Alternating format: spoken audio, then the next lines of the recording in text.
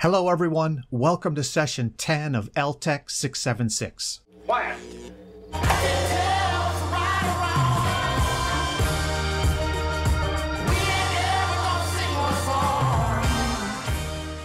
I want to begin by welcoming you back from spring break.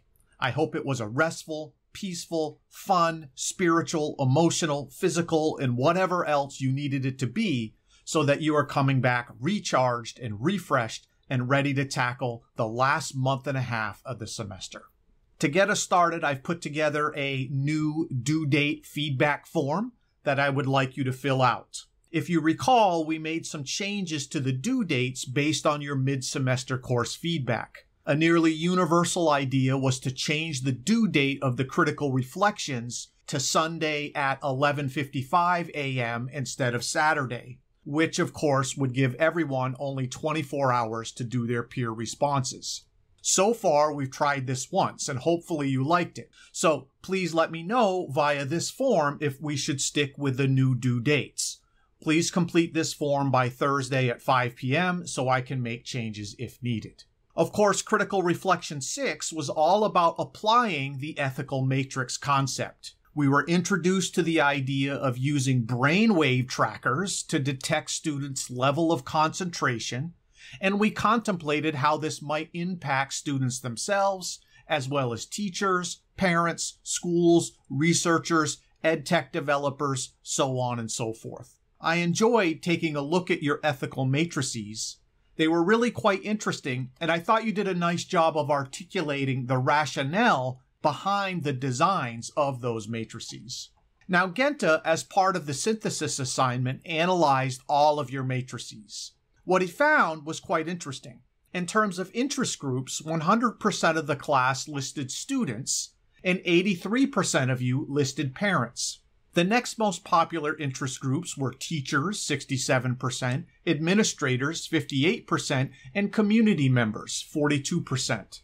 Somewhat surprisingly, only a few of you included the developers of the brainwave trackers as a possible interest group. Now, in terms of ethical principles, it seems many of you were influenced by Mepham's original matrix. The top ethical principle was well-being, which everyone included. The second most popular principle was a tie between achievement and justice at 58%. These were followed by autonomy and privacy. Interesting. It would be fun to see how LTEC students' ethical principles might change and or evolve from one decade to the next. Now, in his write-up, Genta noted that several of you reported the general benefits of building ethical matrices, such as reducing disruptive fixation and offering new perspectives and finding areas where one concept might defeat another or where a compromise should be sought. He concluded by arguing that building ethical matrices was a great exercise for considering the possible effects of a given technology or innovation on different interest groups and contrasting how their objectives can be similar or different based on ethical principles. This sentiment was echoed by Haley in her synthesis write-up. Haley noted that a majority of you in the class were able to acknowledge that you did in fact have your own biases going into the creation of this matrix. However, you agreed that the matrix does allow one to see aspects through other perspectives, as opposed through only, say, the teacher lens. And Haley concluded by pointing out that the emotional tethering can keep us from solving the problems we need to solve. So well done, Genta, and well done, Haley. Thank you to you both. And just as a reminder to all of you, you can always check out the full synthesis write-ups for each critical reflection assignment by visiting the discussion thread syntheses link on the overview module on Canvas. Just for fun, I decided to ask everyone's new best friend, ChatGPT, if it is ethical to ask elementary students to wear brainwave trackers in the classroom. Here's how it responded. First, it pointed out that as an AI language model, it does not have personal beliefs or opinions. However, I can provide information and insights that may help you arrive at an informed decision. And so, what did it say? It said there are five points to consider. we need to consider informed consent, privacy and data security, stigmatization and labeling, discrimination, and pedagogical value. So I thought that was kind of interesting and wanted to share it with you. Anyways, enough about that. Let's move on. Now, I want to move forward to talk about our next theme. And as you know, we have five themes in LTEC 676. We started with theme one, the nature of educational technology. Theme two was technology and equity in schools. Theme three was racial and ethnic divides, differences in needs. And today we're beginning our fourth theme, which is giving voice and disempowering structural inequalities. Now, when we're talking about structural inequalities, I hope your mind is drawing a dotted line to our illustrated analogy of inequity when it comes to education and opportunity in society. And so, theme four is going to be talking about giving voice and disempowering those structural inequalities. Now, to do that, we began reading the first chapter of Disruptive Fixation by Christo Sims. And Sims argues that we are accustomed to arguments that herald recent breakthroughs in information and communication technologies for their potential to reinvent outmoded educational systems, to develop areas of the world with high rates of poverty, or to knit together the planet in a harmonious way. In other words, Sims argues that we're used to the idea that some new technology is going to address societal ills we are, for, for a lack of a better term, sold this idea over and over again that technology is a way to address these problems. And on the very first page, Sims reveals his perspective on this, stating that what is puzzling is how so many of us hope and even demand that the next time will be different. He acknowledges that technology never has addressed all of these problems. And so he's puzzled by the continued hope and even demand that the next round of technologies is actually going to make a difference. Of course, this ties right into where we began the course with this idea that society has long standing and stubborn problems or societal ills, such as poverty, homelessness, discrimination, low civil engagement.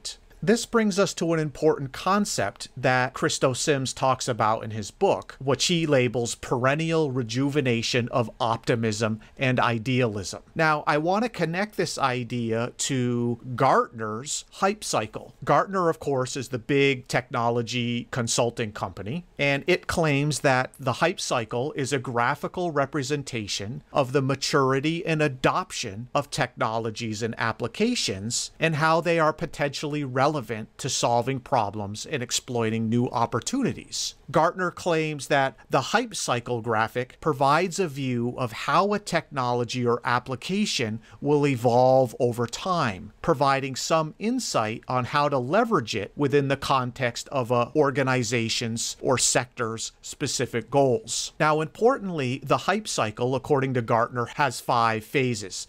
And they plot these phases, keeping in mind expectations and time. Now, the first phase is what they call the innovation trigger. And this happens when a potential technology breakthrough kicks things off. This might be an early proof of concept, and stories and media begin to trigger significant publicity about this particular breakthrough. At this point, there's no usable products or commercial viability. It, everything at this point is really just prototypes, and, and its viability is largely unproven. From there, we have the second phase, which is the peak of inflated expectations. And at this point, early publicity produces a number of success stories. Some companies may take action to take advantage of the new breakthrough or the new technology, and others may not after the peak of inflated expectations, we have the trough of disillusionment. Is notice how expectations have reached a bottom. At this point, interest wanes as experiments and implementations fail to deliver on their promises. Producers of the technology shake out or fail. Investments continue only if the surviving providers of the technology improve their products to the satisfaction of the early adopters. So you can see here it's kind of the the opposite of the peak of inflated expectations. Everyone becomes disillusioned. This technology is not what we thought it was going to be.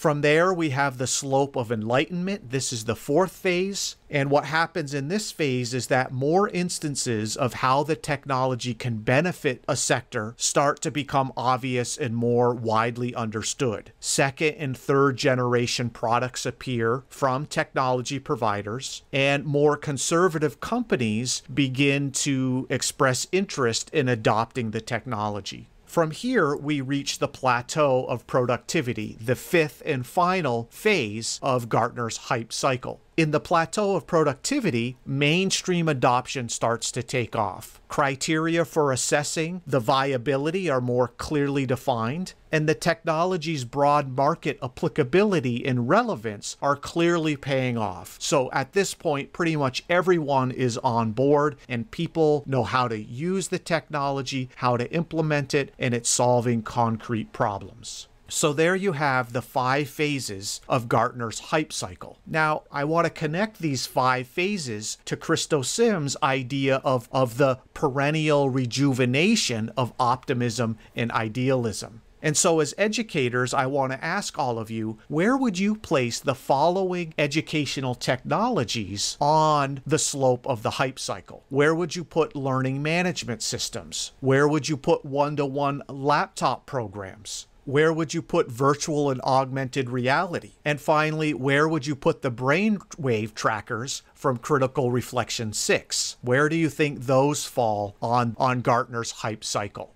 Let's connect Gartner's hype cycle back to the headlines that we looked at earlier in the semester. Is it possible that the hype cycle helps explain the spectrum of perspectives that we've seen in the popular press? On the one hand, on the left, we might say we're seeing the peak of inflated expectations about the role of technology in education, whereas on the right, we're seeing the trough of disillusionment when it comes to specific technologies in schools. Now, another important point that makes is that education is remarkable for the extent to which it is repeatedly targeted for disruption, especially in the United States. He makes the point that even with all of these societal ills, education is the sector that is repeatedly targeted for disruption by technology. And he points out on page five public debates about education reform tend to focus narrowly on how to fix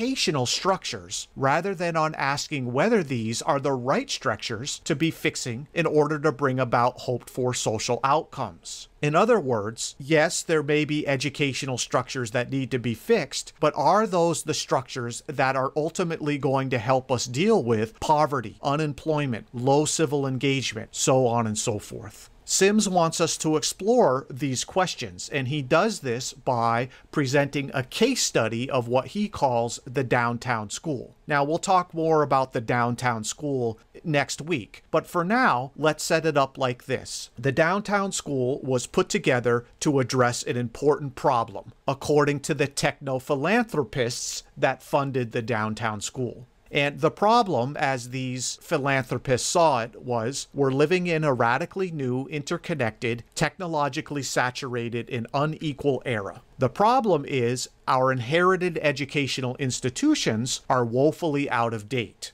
So, what was the solution? Well, the solution proposed by the techno philanthropists was to put together a new school for digital kids where the entire pedagogy would be organized like a game, and students would learn to be creative makers, remixers, and hackers of technology and culture. So that's kind of the premise of the downtown school. And Christo Sims is going to walk us through what actually happened at the downtown school in terms of what it hoped to achieve and what it actually ended up achieving, which is what we'll look at next week. Okay, everyone, we're out of time for today. Have a great week, and I'll see you in Canvas.